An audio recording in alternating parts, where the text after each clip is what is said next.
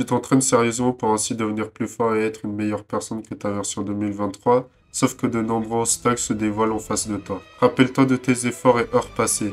Rappelle-toi de ce moment où tu as voulu devenir plus fort. On peut toujours continuer l'aventure avec de la détermination. Hey, c'est Okinichi et j'espère que tout le monde va bien. Moi, personnellement, je me porte très bien. Les résolutions que j'ai prises pour cette année sont carrées. Aujourd'hui, mes chers otaku, je vous présente trois animes de samouraï à bord pour garder sa fierté de combattant. Générique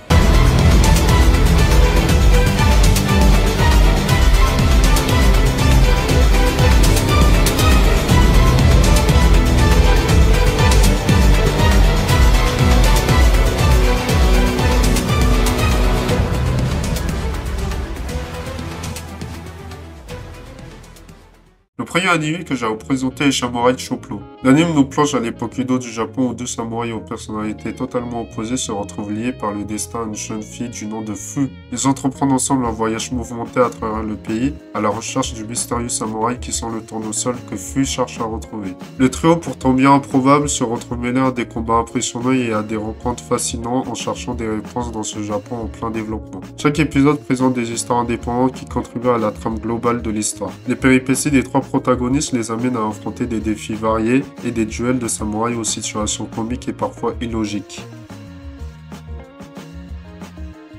Au fur et à mesure qu'on avance, le trio croise des figures historiques, des maîtres de sabre, des bandits, des artistes et bien d'autres qui sont aussi une toile d'aventure permettant d'exploiter plusieurs cultures au sein du Japon féodal. Animé par le studio Monglobe, l'animation a su créer des scènes d'action complexes, combinant bien le style traditionnel des samouraïs avec une touche de modernité.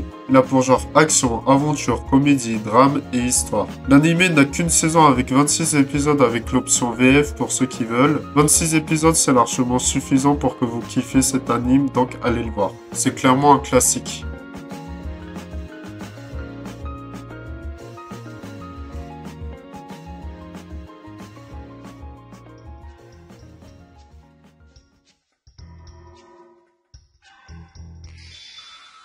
Le deuxième anime que j'ai à vous présenter est Rurouni Kenshin ou Kenshin le Vagabond en français. Ici on parlera plus du remake de 2023. L'histoire se déroule dans l'époque Meiji du Japon après l'ère des samouraïs. Kenshin Umura, anciennement connu sous le nom de Ito Kirie Batuzai, est un redoutable assassin durant la Révolution. Après cette période de chaos, il adopte un nouveau style de vie en tant que vagabond pacifique, portant une épée inversée afin de ne plus tuer. Il rencontre Kaoru Kamiya, propriétaire d'un donjon qui devient son protecteur en s'engageant à protéger les innocents sans recourir à la violence. Malheureusement, son passé ténébreux le rattrape car des anciens ennemis le provoquent de nouveau au défi. La résolution de Kenshin à ne plus tuer est de nouveau mise à l'épreuve. Comment Kenshin va-t-il surmonter tous ces dangers sans tuer et en protégeant ses proches Il pensera à cela tout au long des épisodes pour ainsi arriver à une conclusion plus sereine. Animé par les studios Lidl Film, l'animation a su montrer les thèmes de la rédemption et la résolution de Kenshin, capturant les émotions intenses des affrontements tout en offrant une attention aux détails historiques et culturels de l'époque Meijin. Là pour genre action, aventure, comédie, drame et histoire.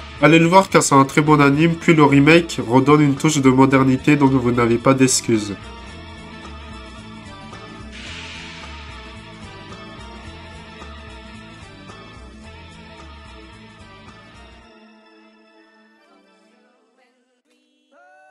Le troisième anime que je vais vous présenter Afro Samurai. Afro Samurai nous plonge dans l'histoire de l'Afro, un guerrier solitaire portant un bandeau numéroté. Son objectif est de se venger de la mort de son père tombé sous les coups de l'ancien détenteur du bandeau numéro 2. Dans une quête sanglante pour le bandeau numéro 1, symbole du meilleur combattant, Afro affronte des adversaires puissants traversant des paysages magnifiques parfois marqués par la violence et la soif de revanche des guerriers. La vengeance d'Afro nous raconte en réalité son passé tourmenté avec l'ajout de personnages emblématiques et son cheminement à travers un monde impitoyable. Afro a toujours survécu seul dans ce monde où le plus fort survit, mais est-il réellement devenu le plus fort? Nous allons donc voir avec lui la finalité de son périple à la recherche de ce samouraï ultime ayant tué son père. Animé par le studio Gazo, l'animation met en valeur l'esthétique stylée et violente de l'univers, renforçant par la même occasion les thèmes abordés tels que la vengeance, la brutalité et la solitude d'Afro. La pour genre action, aventure, drame, arts martiaux, science-fiction et fantasy. En vrai, c'est un anime spécial en ce genre qui mérite d'être vu de par son esthétique, son histoire atypique, sa mentalité forte de nous faire comprendre certaines leçons dans la vie, et surtout les OST uniques en son genre. L'anime possède 5 épisodes avec un film, pas besoin de voir plus pour nous le faire apprécier, puis il y a l'option VF pour ceux qui veulent, donc allez le voir.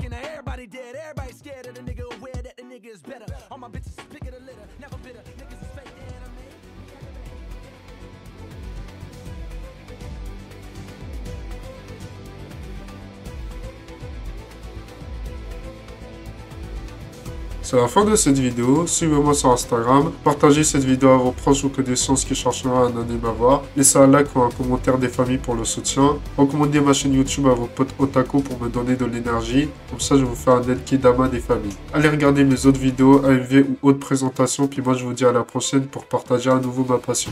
Salut